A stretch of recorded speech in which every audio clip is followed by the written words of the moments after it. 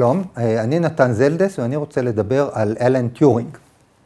לפני מספר שנים יצאה סדרת ספרים יוקרתית בעולם בשם The Great Philosophers, הפילוסופים הדגולים, שעסקה כמובן בפילוסופים העיקריים שהאנושות הכירה, אז יש שם את סוקרטס ושפינוזה ויטגנשטיין וקאנט וכל המי ומי, וגם יש שם ספר על אלן טיורינג. מה שמפתיע מאוד, כי אם הייתם אומרים לטיורינג בחייו שהוא פילוסוף, הוא היה מתגלגל מצחוק. כי הוא היה מתמטיקאי, הוא היה לוגיקן, וכולם ידעו את זה. אפילו היום, אם תשאלו את האדם ברחוב מה עשה אלן טיורינג, בהנחה שהוא שמע עליו בכלל, הוא יגיד לכם שטיורינג פיצח את קוד האניגמה של הגרמנים במלחמת העולם. ומי שמפצח קודים, קוראים לו קריפטוגרף, קוראים לו האקר, אבל בוודאי לא פילוסוף. או שהוא יגיד לכם שהוא המציא את המחשבים הראשונים שנבנו באנגליה אחרי מלחמת העולם. אבל מי שממציא מחשבים, אני יכול להגיד לכם, אני עבדתי באינטל יותר מ-20 שנה, פיתחנו שם אחלה מחשבים וצ'יפים ודברים נפלאים, ואף אחד לא קרא לנו פילוסופים, קראו לנו מהנדסים, או קראו לנו מקסימום מדעני מחשב.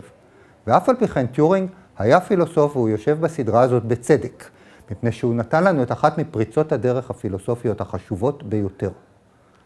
מי שהבין את זה זו ורדה.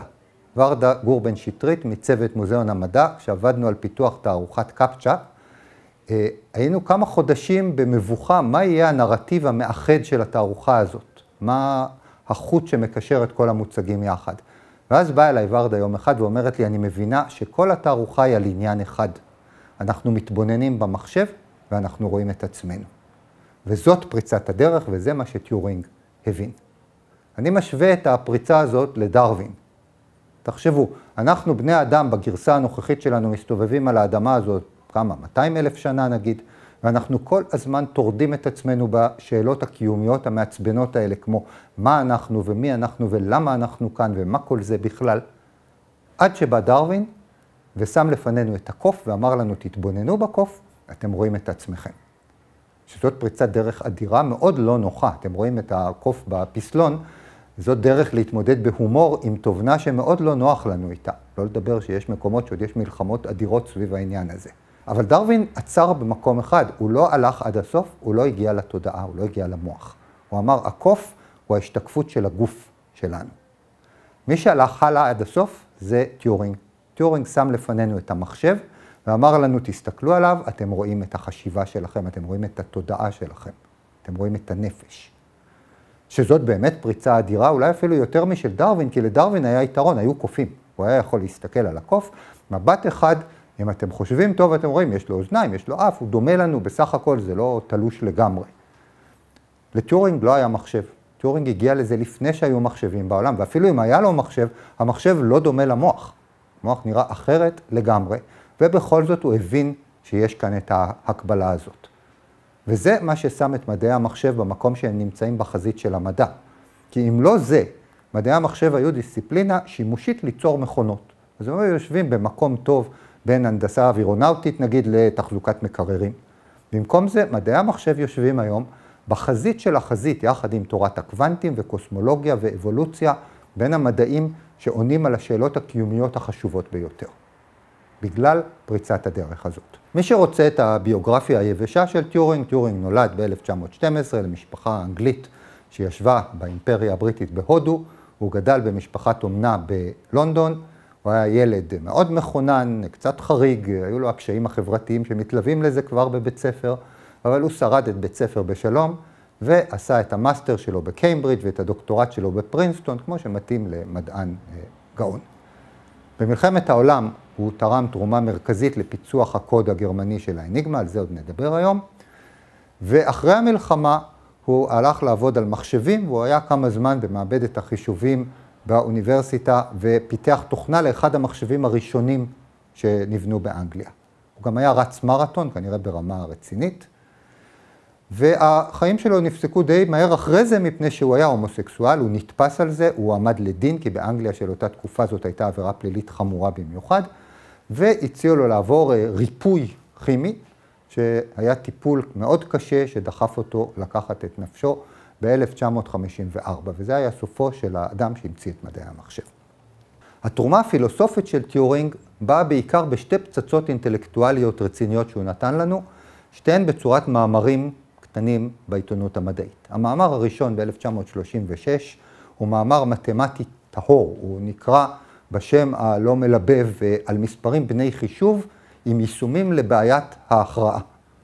זה דבר לגמרי טכני במתמטיקה, המאמר מלא נוסחאות, הוא מופיע בעיתון מדעי של האגודה המתמטית של לונדון, ואף על פי כן הוא חשוב לנו. בעיית ההכרעה עצמה, אגב, הייתה השאלה שהציב המתמטיקאי הילברט מהדור לפני זה, והוא שואל האם ניתן לעשות אלגוריתם, או אם תרצו תוכנת מחשב במונחים של היום, שיכולה לקבל משפט מתמטי או טענה מתמטית ולהגיד אם היא נכונה או לא, מתוך האקסיומות של המתמטיקה. הילברט היה משוכנע שניתן יהיה לעשות את זה. טיורינג, שהיה אז סטודנט בן 24, הפיל את הילברט לגמרי והוכיח שבעיית ההכרעה לא ניתנת לפתרון באופן עקרוני, שזאת המסקנה בסוף המאמר שלו. אבל אותנו מעניין יותר איך הוא עושה את זה. מה שטיורינג עושה, והוא ממציא קונסטרוקט תיאורטי לגמרי, שבעזרתו הוא יכול לבחון מה ניתן או לא ניתן לחישוב. אנחנו קוראים לזה היום מכונת טיורינג. המכונה הזאת היא מכונת חישוב פרימיטיבית ביותר. יש בה סרט אינסופי מנייר מחולק למשבצות. בכל משבצת יש סימבול, נאמר 0 או 1. יש ראש שנע אנה ואנה על הסרט, והראש הזה בודק מה כתוב על הסרט במקום שהוא נמצא, ומחליט לפי טבלת הוראות פשוטה שיש במכונה, מה לעשות עם זה, לשנות את ה-0 ל-1, או בחזרה, או לזוז ימינה, או לזוז שמאלה, פעולות מאוד בסיסיות. וטיורינג מוכיח שהמכונה הפשוטה הזאת שקולה לכל מחשב שניתן יהיה אי פעם לבנות. שכל פעולה חישובית שניתן לעשות, ניתן ללכוד במכונה פשוטה כל כך. זאת מכונה מספיק פשוטה שאנחנו כאן בתערוכה שלנו במוזיאון, בנינו מכונה כזאת מלגו. אתם רואים אותה על השקף, מכונה בנויה מקיט לגו של ילדים, והיא מכונת טיורינג שבעיקרון ניתן לעשות עליה כל חישוב שניתן יהיה להמציא.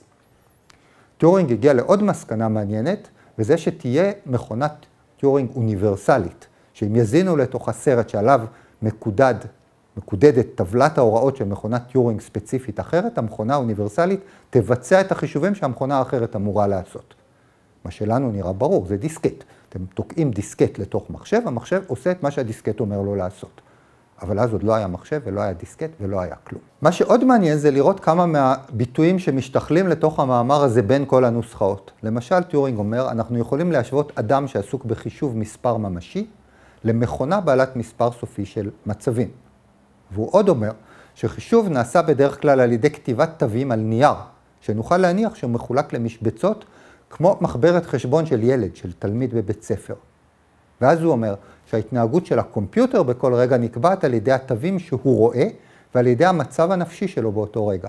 אבל שימו לב ש computer בשביל טיורינג זה לא מחשב, זה בן אדם שמחשב.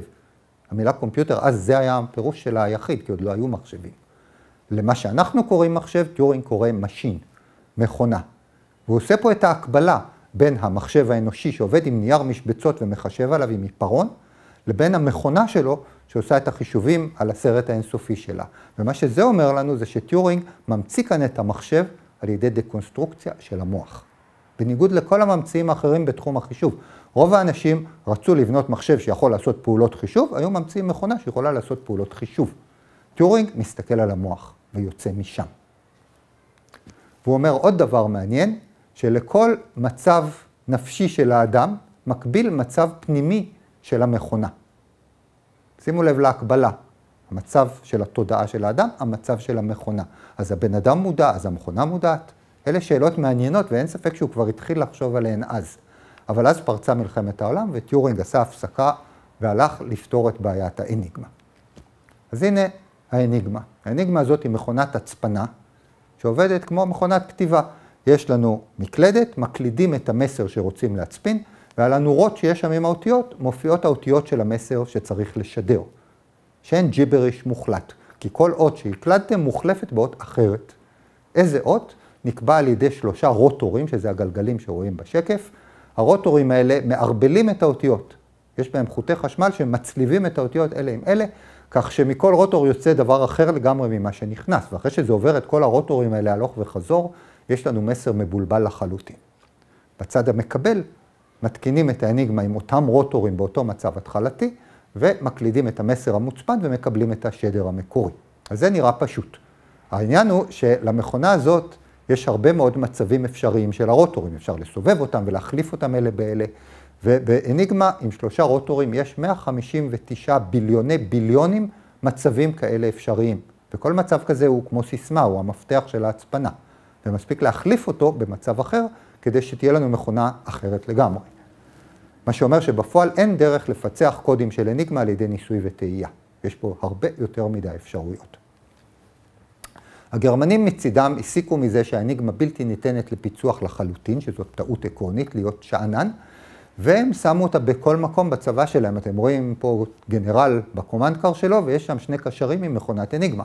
אתם רואים שם כיתה בשטח עם מכונת אניגמה.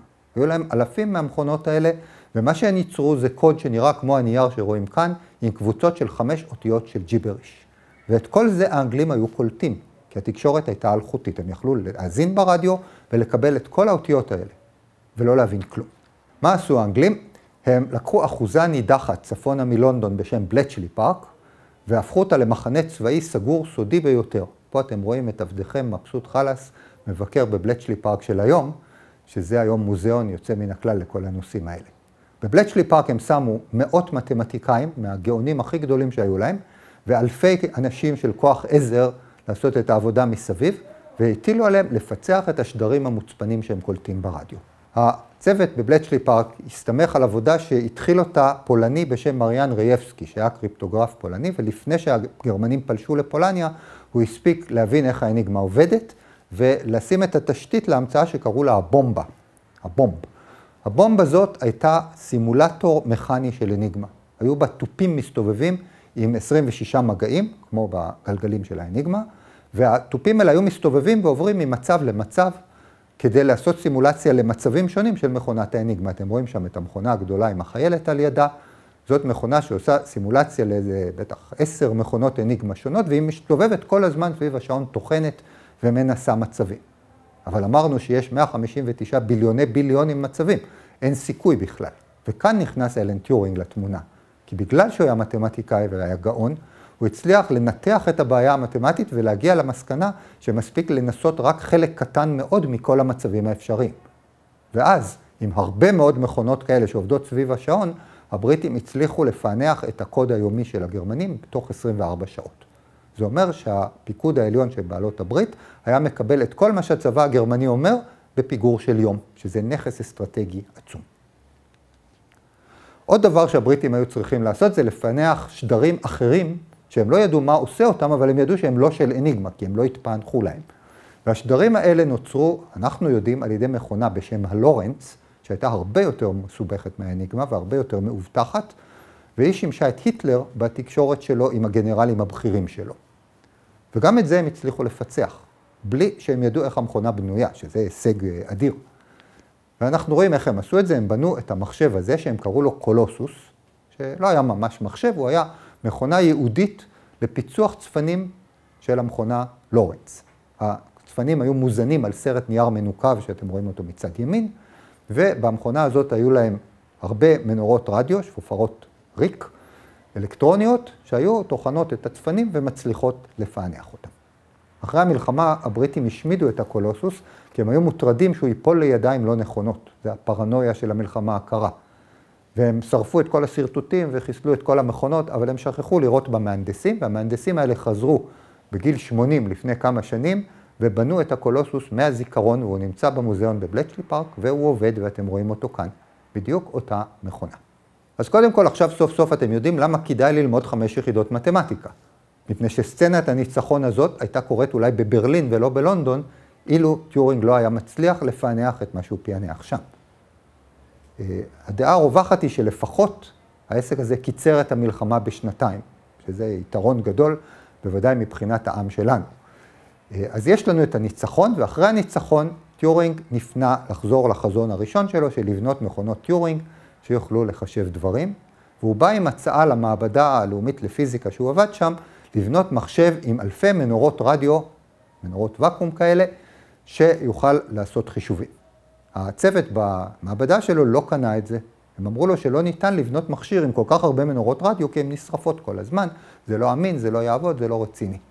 טורינג ידע מצוין שזה מאוד רציני, מפני שהוא היה שם, הוא ראה את הקולוסוס, הוא ידע שניתן, אבל היה אסור לו לדבר. כל הנושא הזה היה סגור בשבועת סודיות חמורה ביותר, ועד הרבה אחרי שטורינג הלך לעולמו, אף אחד לא העז לדבר על מה שקרה בבלצ'לי פארק. ואז לא נתנו לו לבנות את המכשיר שלו, והוא עזב במפח נפש והלך לעיסוקים אחרים. הצוות במעבדה לפיזיקה בינתיים החליט שאולי כדאי להם לבנות פיילוט, קראו לזה ה Pilot ACE, Automatic Computing Engine. הפיילוט הזה היה מחשב קטן יותר, היו בו 1,450 מנורות, היה לו זיכרון של 384 מילים. הרבה מאוד. והוא רץ במהירות של מגה הרץ אחד. הוא היה המחשב הכי מהיר בעולם. מי שזוכר את הקומודור 64 הוותיק והטוב, הוא רץ במהירות של 2 מגה הרץ, רק לתת לכם קנה מידה. אבל המחשב הזה עבד, הוא עבד מצוין, הוא פתר בעיות במדע, הוא היה שימושי לחלוטין, הוא אפילו הרוויח קצת כסף עבור האוניברסיטה. וטיורינג מצידו נפנה, אמרנו, לעניינים אחרים, והעניין שהוא החל להתעסק איתו זאת השאלה הזאת, האם מכונות יכולות לחשוב? וזאת הפצצה האינטלקטואלית השנייה של טיורינג. הוא פרסם אותה בתור מאמר בעיתון Mind, בניגוד למאמר הראשון, זה לא עיתון של מתמטיקה, זה עיתון של פילוסופיה ופסיכולוגיה. והמאמר נקרא Computing Machinery and Intelligence, מכונות חישוב ותבונה. וכבר במשפט הראשון שמסומן שם הוא שואל, אני מציע לשקול את השאלה, האם מכונות יכולות לחשוב? שבמונחים של 1950 זאת שאלה שעשתה שכל בערך כמו לשאול, האם מלפפון יכול לרקוד בלט? מפני שכל המכונות שהיו עד אז היו ברמה של מכונות קיטור. לא דיברו בכלל על מכונות שיודעות לעשות איזשהו דבר שקשור לחשיבה. וטיורינג שואל אם הם יוכלו ממש לחשוב. שאלה מעניינת זה איך הוא הגיע בכלל לחשוב על זה, ועל זה מוזיאון המדע בלונדון, שיש לו תערוכה מאוד יפה מוקדשת לטיורינג, מעלה שלוש תיאוריות. תיאוריה אחת היא שזה קשור למה שקרה לכריסטופר מורקום, שזה הילד שאתם רואים כאן, שהיה תלמיד יחד עם טיורינג בבית ספר, וטיורינג היה מאוהב בו בסתר עד מעל לראש. ואז מורקום חטף מחלה רעה והלך לעולמו. וטיורינג, שהיה שבור ומזועזע, התכתב עם האימא של החבר שלו, ובמכתבים שהוא שלח לה, ששרדו בידינו, אנחנו רואים התלבטויות בשאלה מה קרה לנשמה של כריסטופר, ואיפה היא נמצאת, והאם היא מחוברת לחומר או כבר לא. ואתם רואים את המשפט המעניין הזה. מחוברת לחומר תמיד, אבל לאו דווקא לאותו סוג של גוף. אז אם זה לא אותו סוג, אולי זה יכול להיות גם מחשב. יכול להיות שזה קשור. דבר שני שאתם רואים פה מימין, זה את הצו הקיברנטי שבנה פרופסור אחד, שטיורינג הכיר היטב, זה אחד הרובוטים הראשונים. הצו הזה היה נע אנה ואנה ועוקב אחרי מקורות אור, וכשהיה נגמר לו החשמל היה חוזר לאכול בבית שלו שנמצא כאן, מה שמזכיר את הרובוטים ששואבים אבק היום. אבל אז זה היה חידוש מפתיע מאוד, המכונה הזאת היא מרגישה רעב, היא הולכת לאנשהו לאכול. במילים אחרות, יש לה התנהגות כביכול אינטליגנטית. פעם ראשונה. אז טורינג ראה את זה, יכול להיות שזה עורר בו מחשבה. ויש לנו גם את המכונה האלקטרונית שבנה אותה דיטריך פרינץ, שהיה יהודי גרמני שנמלט מהשואה והגיע לאנגליה ועבד עם טיורינג, והוא בנה את המכונה הלוגית הזאת, שהייתה מיועדת לעשות סילוגיזמים לוגיים פשוטים, מהסוג של, אתם יודעים, כל בני האדם הם בני תמותה, סוקרטס הוא בן אדם, סימן שסוקרטס הוא בן תמותה. ההיקש הלוגי הזה, זה סוג הדברים שהמכונה הזאת הייתה עושה, הם היו מנענעים את המתגים שלה והנורות היו נדלקות בהתאם לתוצאה הלוגית הנכונה. שזה מגוחך בעינינו, אבל בתקופה ההיא, שוב, זאת הייתה מכונה שעושה פעולות שאמורות להיות שמורות למוח האנושי. אז אולי גם זה גרם לטיורינג לחשוב. ואנחנו רואים שהוא ניגש לשאלה הזאת של האם מחשב יכול לחשוב, והשאלה הראשונה זה מה זה אומר לחשוב. אז הנה פה יש שתי מכונות, אתם רואים מכונה משמאל ומכונה מימין. סביר שבגיל הזה המכונה מימין יותר אינטליגנטית. אף על פי כן, כולנו משוכנעים שהתינוק חושב והמחשב לא. למה? כי אנחנו לא מחשבים. למה? אולי כי יש לו אוזניים לתינוק ולמחשב אין אוזניים. אז הנה עוד כמה יצורים שאפשר לשאול אם הם חושבים או לא. למשל, הבחור למעלה שם בטוח חושב, כי יש לו אוזניים. הכלב, מי שמגדל כלבים, יישבע לכם שהכלבים חושבים ועוד איך. וסביר שזה נכון. וגם להם יש אוזניים. לחיפושית אין אוזניים, הלך עליה. הפרח גם כן אין סיכוי. שימו לב אבל ל-ET. על ה-ET כל מי שראה את הסרט וכל מי שמשתתף בסרט מסכים שהוא חושב. למה הוא חושב? הרי אין לו אוזניים. הוא חושב מפני שהוא מתקשר עם הילד בסרט. הילד מדבר אליו וה-ET עונה לו. בצורה שעושה שכל, בצורה שבן אדם אחר היה עונה. וזה הקריטריון האמיתי. ועל זה טיורינג עלה. הוא אמר, אנחנו יודעים שאדם אחר מאיתנו חושב רק לפי איך שהוא מדבר. אם אתם תפנו אל בן אדם ששוכב על מיטה והוא לא יגיב, אתם תניחו שאו שהוא ישן, או שהוא בתרדמת, או שהוא מת, אבל הוא לא חושב. למה אתם יודעים שהוא חושב? כי אתם מדברים איתו והוא משיב לכם בצורה הגיונית, שדומה לצורה שאתם הייתם משיבים לו לו הייתם במקומו. ואז טורינג אומר, למה שנעניש את המחשב כי הוא לא עטוף בשר? גם המחשב, אם הוא יגיב בצורה שעושה היגיון כמו בן אדם, סימן שהוא חושב. מכאן הוא מוציא את המבחן שהיום קוראים לו מבחן טיורינג, שהוא מבחן שמיועד לזהות האם מחשב משוכלל מספיק יכול לחשוב. המבחן בא ממשחק שהיה קיים באנגליה הוויקטוריאנית בתור משחק חברתי, משחק סלון. היו לוקחים גבר ואישה, שמים אותם מאחרי מסך, שמים אדם שלישי, השופט, לפני המסך, ואדם היה צריך לנחש מי זה הגבר ומי זה האישה. כאשר המשימה של הגבר הייתה לשגע אותו ולגרום לו לחשוב שהוא האישה, והמשימה של האישה הייתה לעמוד על האמת שהיא האישה. איך עושים את זה? השופט היה שולח להם פתקאות עם שאלות, והיה אומר למשל, היי, תגיד לי מה אורך השיער שלך. אז A, הגבר, היה מיד עונה לו שהשיער שלו ארוך, כי הוא רוצה לשגע אותו. והיה שואל B, מה את אומרת? וככה בכל מיני דברים, היה מותר לו לשאול כל שאלה שהוא רוצה. ואם בסוף הוא היה מנחש נכון ש-A הוא הגבר, אז A היה מפסיד במשחק, ואם לא, אז B היה מפסיד, הייתה מפסידה. אז זה משחק החיקוי הוויקטוריאני. מה שטיורינג אמר, בואו ניקח את המשחק המוכר הזה ונשים מחשב במקום הגבר. עכשיו המחשב צריך לענות על השאלות כאילו הוא אישה. אם הוא יצליח באותה מידה שגבר היה מצליח, סימן שהוא חושב. כי זה אומר שהוא מנהל שיחה עם השופט, שהיא לכל דבר ועניין כמו שיחה של בן אדם אמיתי.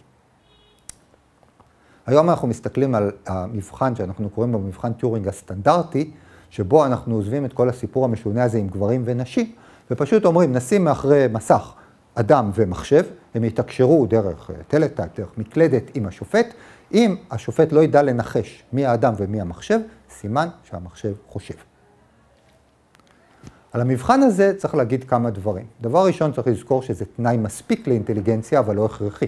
יכול להיות שיש איפשהו בחלל על איזה כוכב חייזרים, שלא יכולים לעבור את המבחן הזה כלל ועיקר, כי הם לא מבינים מה זה שיער, כי הם לא מבינים שום דבר באיך אנשים חושבים, ועדיין הם אינטליגנטים בדרכם שלהם. אבל הטענה היא שכל ישות שתעבור את מבחן טיורינג, נכון לומר שהיא חושבת, אין דרך לשלול את זה. דבר נוסף שצריך להגיד על מבחן טיורינג זה שהוא מאוד מאוד קשה. יש כל הזמן שמועות שאו-טו-טו עוברים את מבחן טיורינג ויש פרס לבנר למחשב שיעבור את מבחן טיורינג. אל אה, תמהרו, ייקח עוד הרבה זמן, והסיבה היא שבמבחן טיורינג אין הגבלה על השאלות. מותר לשופט לשאול כל דבר שהוא רוצה. אז המחשב צריך להיות באמת כמו בן אדם, עם כל אוצר הידע הרחב מאוד והפסיכולוגיה של בן אדם. למשל, נגיד שהמחשב עומד בכבוד בשעתיים של שאלות רצופות, ואז המחשב אומר לו, אחותך זונה, והוא לא קופץ. סימן שהוא לא בן אדם. אז זה מבחן קשה ואנחנו עדיין רחוקים מלעבור אותו. מצד שני, המחשבים משתכללים בקצב מסחרר. אז צריך לחכות ולראות. וישנה שאלת השאלות. נגיד שמחשב יעבור את מבחן טיורינג, האם זה אומר לנו שיש לו תודעה, שהוא מודע לעצמו כמו בן אדם? שהוא לא רק אוטומט, אלא הוא באמת מרגיש? וזה אפשר לנתב לשאלה, האם לכבות מחשב כזה זה יהיה רצח? אתם רואים פה תמונה מהסרט הנפלא 2001, אודיסאה בחלל, ששם האסטרונאוט פרנק בורמן מנסה לכבות את המחשב הל, שיצא מדעתו ומתחיל להרוג אסטרונאוטים, רעיון טוב לכבות אותו. לשם כך הוא מסתובב שם עם מברג ומכבה מודול אחרי מודול בזיכרון של המחשב. והמחשב שרואה ויודע את זה, מאבד לאט לאט את השכל שלו. ואז המחשב מתחנן על חייו. ומי שראה את הסרט, מהבעה על פניו של בורמן יודעים שהוא באמת מאמין שהוא רוצח את המחשב הזה. טיורינג מצידו מסיים את המאמר שלו ב Mind במשפט הזה, אנחנו יכולים לראות רק מרחק קצר לפנים, אבל אנחנו רואים שם הרבה שצריך לעשות. והוא הלך לעשות. הוא הפנה את תשומת ליבו לנושא שקוראים לו היום מורפוגנזה, שזה ההיווצרות של צורות על משטח בשליטה של משוואות מתמטיות. למשל, למה לזברה יש פסים או לפרה יש כתמים? זה הכל נשלט על ידי משוואות ברורות. טיורינג יסד את התחום הזה במדע גם כן. והוא היה ממשיך לעשות עוד הרבה בלי ספק, אם לא שאז עצרו אותו. מה שקרה זה שהוא היה כאמור הומוסקסואל, והמשטרה עלתה על זה, ובאופן לגמרי מקרי אגב, היא עלתה על זה. טיורינג גם לא חשב שזה דבר רע, אז הוא לא ניסה להסתיר את זה, ואז העמידו אותו לדין לפי איזה חוק בריטי מהמאה ה-19, שקובע שזאת עבירה פלילית קשה, והוא יצא אשם בדין, והציעו לו או בית סוהר או סירוס כימי, שזה אומר לקחת גלולות של אסטרוגן, של הורמונים נשיים, כדי לדכא את היצר ולהפוך לבן אדם נורמלי, במונחים שהם חשבו אז. הטיפול הזה היו לו תופעות לוואי חמורות, גם פיזיות וגם נפשיות. הם לקחו את מדען המחשב הראשון והדגול ביותר שהיה, וטמטמו לו את השכל. לא שזה שינה, כי הם גם שללו ממנו את הגישה למחשבים, מבחינת סיווג ביטחוני. כי הם גם חשבו שכל הומוסקסואל הוא בהגדרה סיכון גדול שהוא יהפוך למרגל. ואז טיורינג, אחרי זמן מה, אה, קץ בחייו ונמצא מת בחדרו עם תפוח נגוס על ידו וריח עז של ציאנית בחדר. וזה היה הסוף של הממציא של מדעי המחשב. עכשיו הבריטים נזכרו שאולי זה לא היה רעיון כל כך נכון מצידם, ואולי זה לא היה כל כך צודק, ואנחנו רואים אה, תנופה גדולה של אה, כפרה. אז קודם ראש ממשלת אנגליה הוציא התנצלות בשם הממשלה האנגלית לטיורינג המנוח. אחר כך הגדירו את שנת טיורינג הבינלאומית ב-2012, והתחילו להקים לו מצבות ובולי דואר ותערוכות והרצאות וקונגרסים בלי סוף. ועכשיו, ממש באחרונה, מלכת אנגליה הגדילה לעשות, ולא הסתפקה בהתנצלות, ואחרי הרבה לחץ מהציבור, נתנה לטיורינג חנינה רשמית. אז עכשיו הוא יכול לנוח בשלום בידיעה שהוא לא עבריין פלילי לפי החוק מהמאה ה-19. כל זה יפה מאוד, אבל זה מעט מדי ומאוחר מדי. ואנחנו, במדעי המחשב, מבינים היום מצוין את ההישגים של טיורינג, כי בכל מקום שתסתכלו במדע הזה, אתם תראו את חתימתו. הוא המציא את הארכיטקטורה של המחשב, הוא טיפל בגבולות החישוביות, שהם הבסיס להצפנה, שגם בה הוא עסק. הוא ייסד את תחום האינטליגנציה המלאכותית ואת כל הנושא של למידה ממוחשבת, למידה של מחשבים. הבן אדם הזה היה איש אדיר, ואם רק היו נותנים לו לחיות, מי יודע מה עוד הוא היה עושה, אולי הוא היה מצליח להסביר לנו את התשובה לשאלות הקשות באמת. כמו, האם המוח שלנו הוא בסך הכל מחשב ביוכימי, או שמא יש בו משהו נוסף, אולי נשמה, ואולי פעם המחשבים יהיו חכמים יותר מאיתנו, ואולי אז גם להם תהיה נשמה, או אולי לא, ואולי תהיה להם מודעות עצמית. ואולי נוכל להוריד את התודעה פעם לדיסק און קי ולהתקין אותה במחשב אחר, במוח של רובוט למשל, או שנוכל לעשות סימולציה למחשב, למוח במחשב על, שזה פרויקט שכבר עכשיו מתחילים לטפל בו. והאם מחשב שיוצר יצירת אומנות, מלחין מנגינה, או מצייר ציור, כמו שאנחנו רואים בתערוכה שלנו כאן במוזיאון, האם מחשב כזה הוא באמת יצירתי, או שזה סתם ולא באמת. ורק אנחנו באמת. ומה כל זה אומר עלינו ועל המקום שלנו.